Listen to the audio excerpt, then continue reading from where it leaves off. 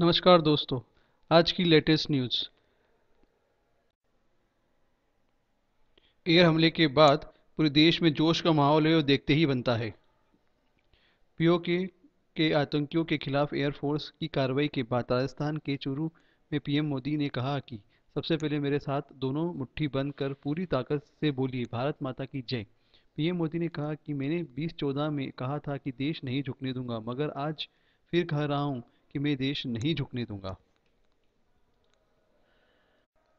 और लोगों ने, मोदी है तो सुरक्षित है, मोदी है तो सुरक्षित इसके कई बार नारे वहाँ लगाए हैं। लोगों का उत्साह ही बनता है चूरू में।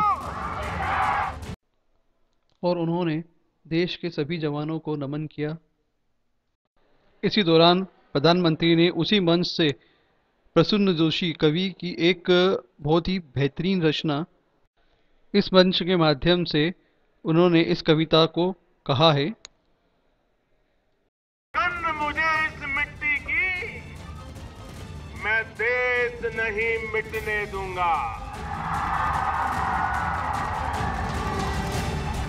मैं देश नहीं रुकने दूँगा।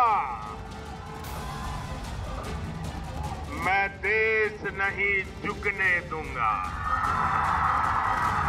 इस गीत को मशहूर गीतकार प्रसून जोशी ने लिखा है। भाजपा की थीम सॉन्ग में भी इस गीत की शुरुआती पंक्ति नरेंद्र मोदी की आवाज़ में थी। 25 मार्च बीस को खुद नरेंद्र मोदी ने ट्वीट कर इस कैंपेन एंथम की जानकारी दी थी।